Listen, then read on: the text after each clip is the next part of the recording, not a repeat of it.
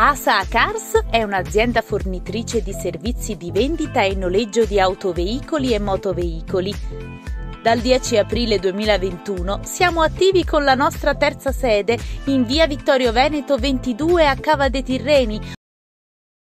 Finalmente, dopo due anni, la 72esima edizione del torneo di Viareggio, storico torneo internazionale di calcio giovanile, può avere luogo.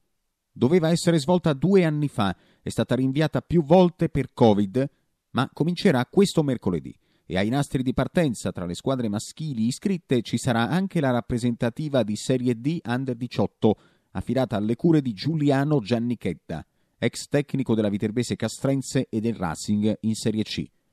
I calciatori convocati sono 24, tutti di Serie D e tra quelli che militano nell'interregionale ce n'è uno soltanto che milita nel girone I del campionato di Serie D. Si tratta di Michele Morlando, il terzino sinistro classe 2004 della Polisportiva Santa Maria.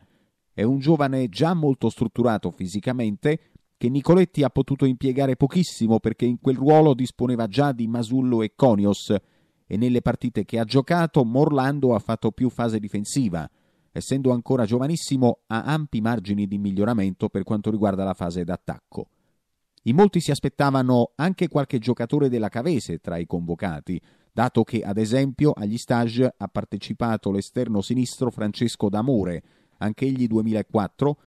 Va detto che comunque il calciatore in questo periodo non è al meglio della condizione per problemi fisici. La finalissima sarà disputata il giorno 30, non a Viareggio allo stadio dei Pinni, ma a Pontedera allo stadio Mannucci. La rappresentativa è inserita nel gruppo 6 con l'Atalanta, il Siena e con la formazione nigeriana dei Garden City Panthers. Giovedì i ragazzi di Gianni Chedda debutteranno a Forte dei Marmi con i nigeriani, poi sabato incontreranno l'Atalanta a Pietrasanta e infine nell'ultima giornata della fase eliminatoria la rappresentativa giocherà col Siena a Santa Croce sull'Arno. Se passerà il turno andrà agli ottavi di finale e se dovesse arrivare almeno fino ai quarti, le società che hanno propri giocatori impegnati al Viareggio potranno richiedere il rinvio della gara del 27 marzo.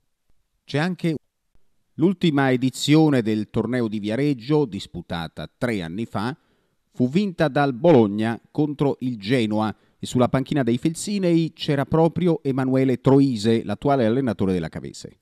Le file del